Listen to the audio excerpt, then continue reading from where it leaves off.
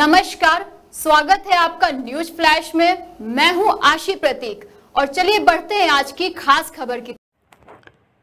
अब खबर सुनील से। बिरला कॉलेज में 26 तारीख को होने वाले चुनाव के लिए आज एनएसयूआई के अध्यक्ष पद के लिए अंजलि सोलंकी उपाध्यक्ष पद हेतु, नीतू शर्मा, महासचिव पद हेतु, भव्य जैन, संयुक्त पद सचिव हेतु, जसवंत सिंह के समर्थन में सुनील क्षेत्र के हिमड़ा बोरखेरी बोरदा ढावला खिंची पिड़ावा, डोला, सुनेर, सलोतिया, चछलाव, लालगांव, कलोतिया, राजपुरा, भटखेड़ा आदि दर्जनों गाँव का दौरा कर एनएसयूआई के उम्मीदवारों ने उनके समर्थन में प्रचार किया।